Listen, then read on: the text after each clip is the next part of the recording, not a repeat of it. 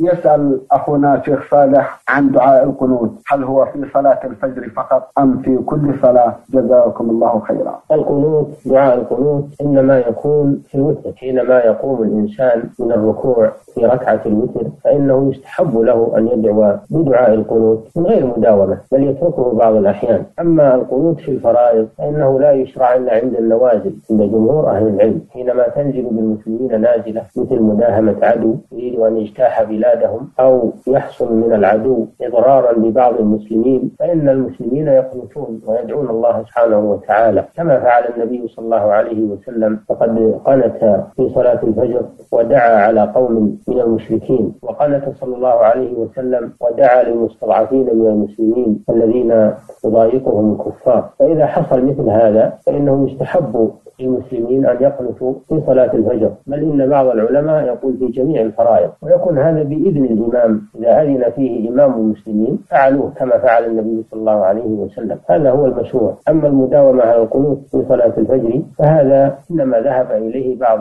الأئمة كالإمام الشافعي رحمه الله ولكن الجمهور على خلافه. والصواب ما ذهب إليه الجمهور لأن النبي صلى الله عليه وسلم لم يداوم عليه وإنما فعله عند النوازل. كذلك خلفاؤه الراشدون. لم يذكر عنهم أنهم كانوا يقنطون في صلاة الفجر. قد قال النبي صلى الله عليه وسلم عليكم بسنتي وسنة الخلفاء الراشدين المهديين من بعدي. ولما سئل بعض الصحابة عن القنوت في صلاة الفجر أخبر أنه محدث أنه أمر محدث والمحدث لا شك أنه غير مشروع. نعم. جزاكم الله خيرا وأحسن إليكم.